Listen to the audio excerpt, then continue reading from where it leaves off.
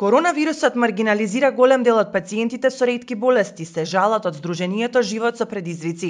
Најпогодени велат се пациентите кои се на инфузиона терапија, но и пациентите кои долго време лековите ги земаат од странство.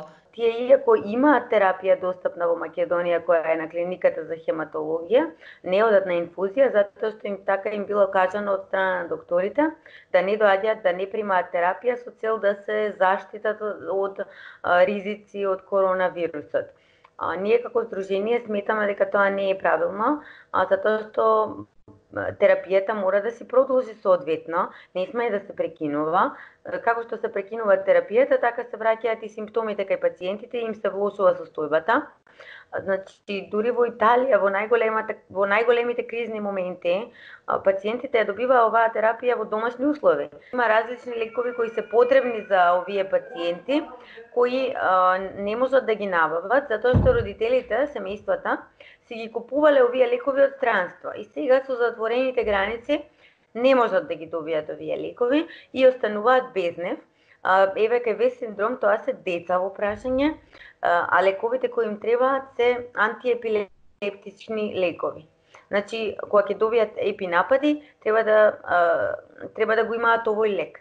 Е сега кога го немаат, се во поголем ризик да ги добиваат овие напади, а тоа им ја влошува здравствената состојба и психичката состојба, значи не е во ред и треба да се направат напори од страна на Министерството за да се добијат овие лекови, некако да се набават, за да не ги оставиме овие семејства да бидат маргинализирани. Друг хендикеп кој директно влијае врз здравјето на овие пациенти, вели Алексовска, е што голем дел од диагнозите ги нема на листата за отсутство од работа која ја објави Министерството за здравство. Во овие диагнози не е вклучена ниту една ретка болест. И тоа не е во ред затоа што ретките болести се ужасно комплексни, потребни се мултидисциплинарни тимови во однос на лекување и следење на болеста и ние сега ги оставаме да не се во ризична група, туку да се нели во обичниот свет. А, еве на пример пациентите со Алпорт синдром да ги земам, а, тие не се ослободени од работа, кај нив инфекцијата бактериска или вирусна може да доведе до застој и губење на бубрезите.